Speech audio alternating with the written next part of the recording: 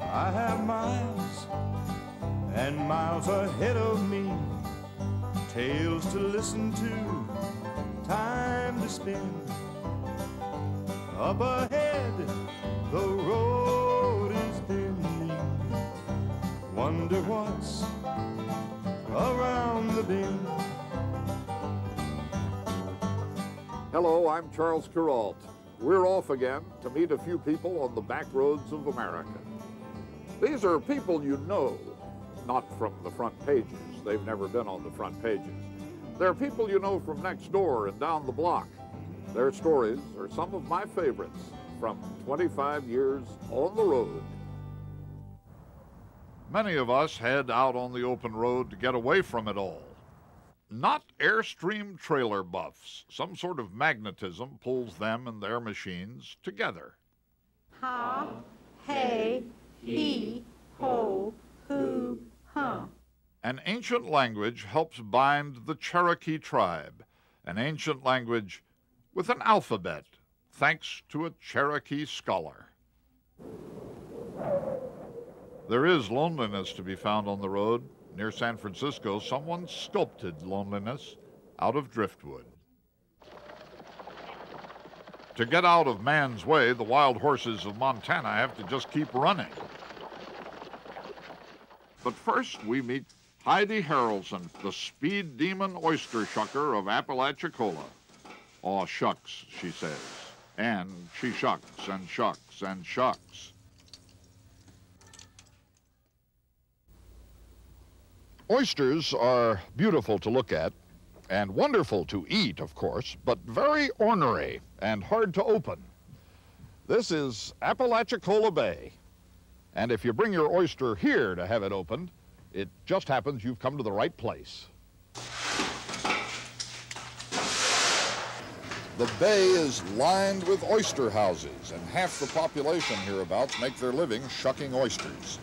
But in this universe of oyster shuckers, one stands out like a pearl in a bushel of blue points. Nobody can shuck oysters like Heidi Harrelson. See? You just put it there. See, there's a hole. And then you get your string on it, yeah? See? I hope you are paying attention because this is like a free boxing lesson from Muhammad Ali. At the annual contest, Heidi Harrelson became the national oyster shucking champion, the first woman ever to win. When it comes right down to it, uh, how fast can you open oysters? I, I shook here uh, 50 oysters in 2 minutes and 39 seconds. All right, 50 oysters, In 2 minutes and 39 seconds. 2 minutes 39 seconds. Yeah. If I race with somebody, I can make more. I have to have a competition. You don't become a world-class oyster shucker overnight, of course. When Heidi Harrelson came here from her native Alsace-Lorraine, she didn't know what an oyster was. When her man left her, she went to shucking. She's got another man now, her husband, George Harrelson, who shucks beside her, but she can outshuck him two to one. She knows what an oyster is. She knows how to get into an oyster. She's just good at it. I believe she was uh, made to shuck oysters. She is already national champion. Tomorrow, the world. She's headed for the International Oyster Shucking Championship in Ireland. Do you um, feel in your heart you're the best oyster shucker in the world? I don't know. I'm fast. Every evening as the sun goes down on Apalachicola Bay, the oyster boats pull into the Miracle Seafood Dock. Thousands upon thousands of recalcitrant oysters, every one of them hard to open. They are wheeled up the dock toward the building where Heidi Harrelson, her flashing oyster knife in hand, stands waiting. Let me tell you something. Those oysters have met their match. A flip of the wrist and another oyster in the bucket. She's the champ. Oyster shuckers at Miracle Seafood discard their shells in a chute that leads to the outside where the shells pile up. One pile is bigger than all the others.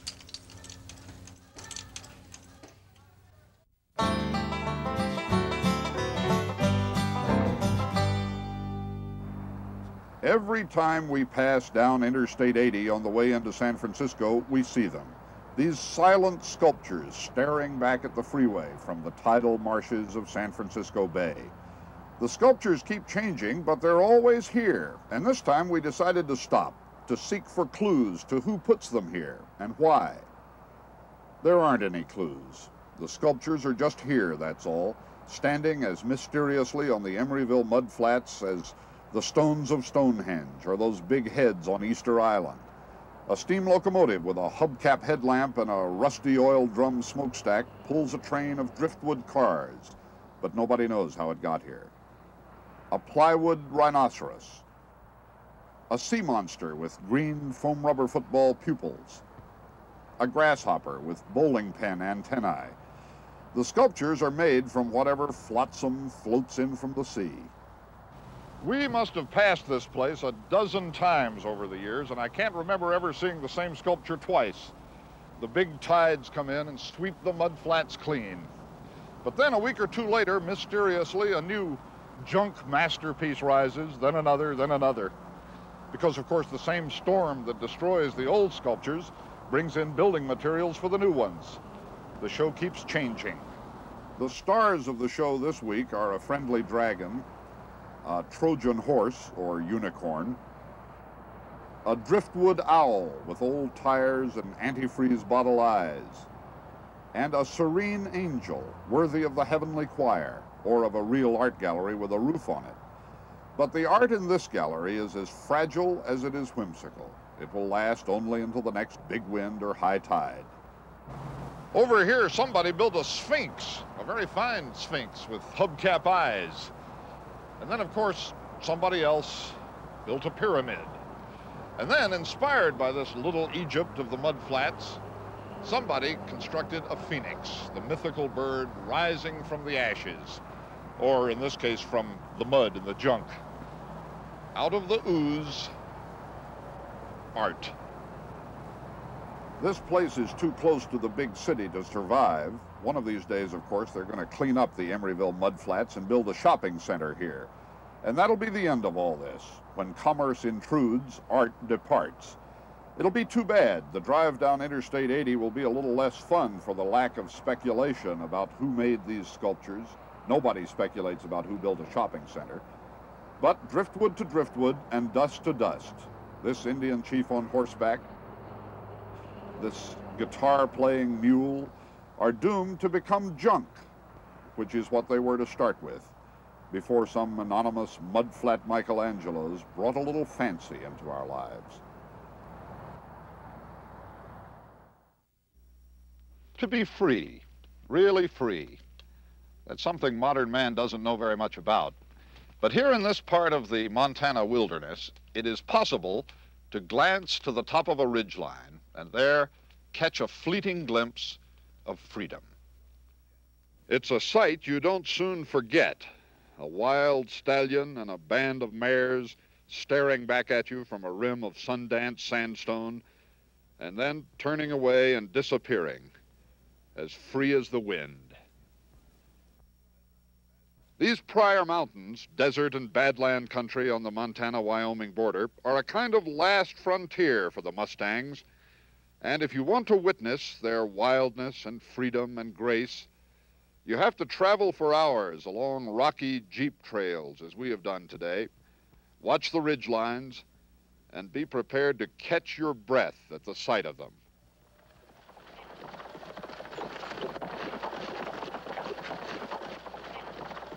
Many of these horses, no doubt, are descendants of those that carried Sioux warriors against Custer at the Little Bighorn, 50 miles from here. This range has been theirs that long. The Federal Bureau of Land Management, concerned about overgrazing and erosion, announced plans to destroy the herd. The horses, said the Bureau, will be trapped at waterholes and sold at public auction. There was a public outcry, and now the Bureau says the horses can stay, at least for the present. A man who led the fight, who actually went to court against the government on this issue, has an isolated ranch bordering the Mustang Range. Rancher Lloyd Tillett. They're good, strong horses. Mm, got a heavy, got a real good girth. and they've got a lot of a lot of endurance. You can ride them for. Well, I've got a, one that I used to ride a lot. He's kind of pensioned off now, but I remember one time I took him for. I had him four days, and I was taking a bunch of cattle. And at night I just tie him up to a tree or wherever I happened to be, and the next day, why I'd get on him, and all he got to eat was just what he was, what he'd picked along when I was taking his cattle along, and it didn't seem to bother him too much. Fact is, he threw my wife off, put her in a hospital at the end of it. if they were ever rounded up and sold, what would happen to them? Well, majority of them would go into a cannon factory for dogs. Dog food and cat food. You'd rather see them running free? I would rather see them running free than that. So wild horses have friends after all. These few have survived highways and fences and scientific range management, and they are still here. Blacks, browns, and roans, unbroken, utterly enviable, the possessors of these hills, proud and pretty and free.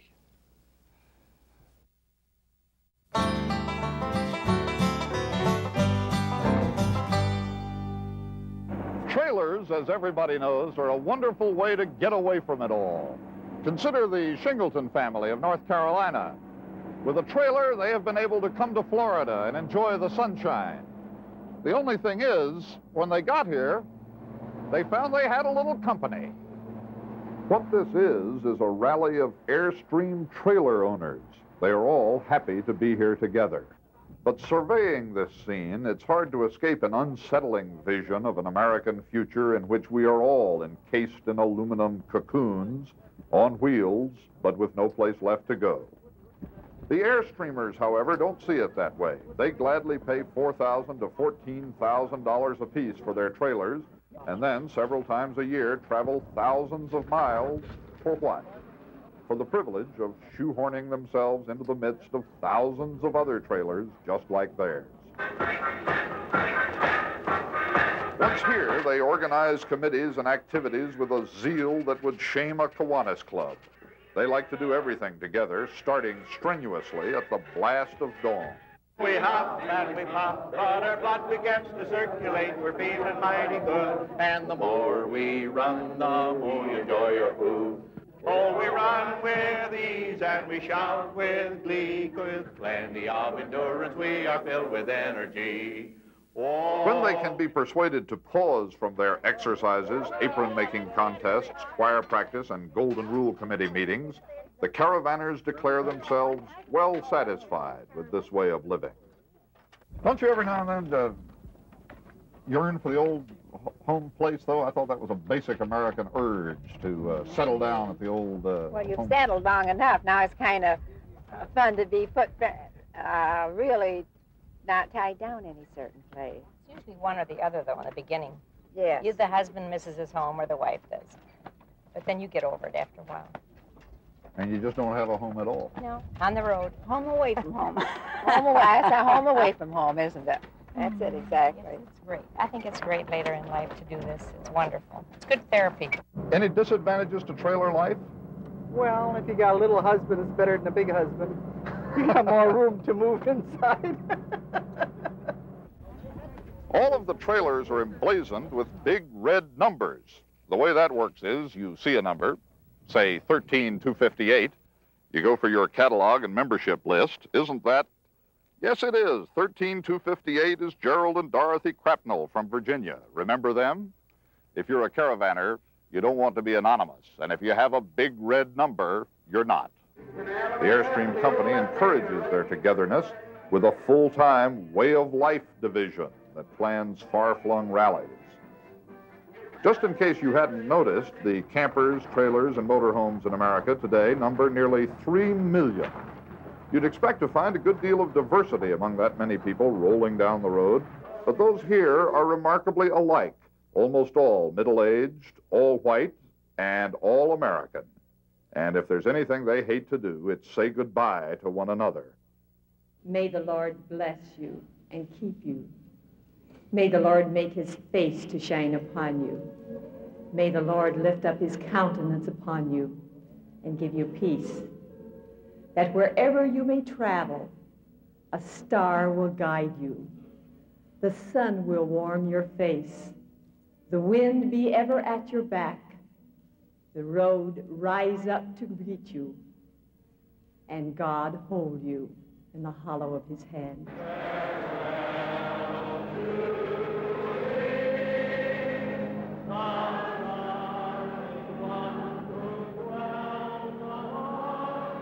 Now, hundreds of these people will be taking the same roads west.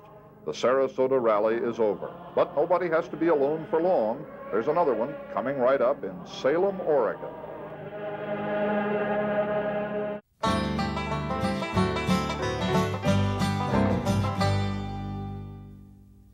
We know how he looked.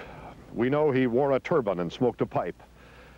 We know he lived out the last years of his life up here in the grassy hills of the Cherokee Nation. We know he walked with a limp. We know he never went to school, never learned to speak English. We know people said he was crazy. We know his name, Sequoyah. That's nearly all we know, except for this, that he was one of the great geniuses of our history. Long before the white men came, the Cherokee, living in orderly villages like this one recreated at Tsa-La-Gi, achieved a culture and philosophy and government of their own. But one thing the centuries failed to provide them, failed to provide any of the Indian civilizations of the Americas, a written language. This one man, Sequoyah, this madman, as his tribesmen thought of him, observed that many things were found out by the Cherokee and known in the world, but that this knowledge escaped. He had seen white people write things down on paper and make them fast. To do that, he told a friend, would be like catching a wild animal and taming it. From about 1809 to about 1821, he apparently largely ignored his family. He let his farm grow up in briars. He suffered the contempt of his neighbors. He spent hours every day out in the woods drawing pictures on little pieces of bark. He accumulated hundreds of these bark pictures, which had meaning for him alone. After about 10 years of that, his wife, after an argument, gathered up all Sequoyah's bark pictures and threw them in the fire. Sequoyah started over.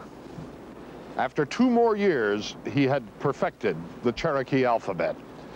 He turned to the one person who had no reason not to believe in him, his six-year-old daughter, Ayoka. He taught her to read and write her own language in a week. 86 characters representing every syllable in the Cherokee language. Sequoyah and his daughter demonstrated the written language to the most distinguished Cherokee chiefs assembled in council. And abruptly, the laughter stopped. In time, the presses rolled. In time, a very short time really, there was a Cherokee newspaper. And not long after that, a Cherokee Bible. And codified for the first time by any American Indians, the Constitution and laws of the Cherokee Nation. Ha, hey, he, ho, who, huh. Sequoyah's alphabet has bound the Cherokees together for 150 years. It survived, though thousands of Cherokees did not, the brutal forced march by the United States Army of the eastern Cherokees to Oklahoma along the Trail of Tears. It survived all the succeeding trials of the great civilized tribe, epidemic, poverty, and discrimination. All right. It is taught today to Cherokee students by Cherokee teachers who learned it in their childhood, What is unadi? Milk. Milk. like Mrs. Anna Kilpatrick Smith of Northeastern State College at Tahlequah. Sequoyah's accomplishment lives, the legacy of an American who did what no one else has ever done, made himself and his whole people literate in their own language, and did it entirely alone, working in the darkness, toward a light only he could see. Well, time to say goodbye until our next trip together. We've heard about a story up the road here, but we kind of hope we never get there. With luck, we'll stumble upon something more interesting along the way. I can see the road is bending. Wonder what's around the bend.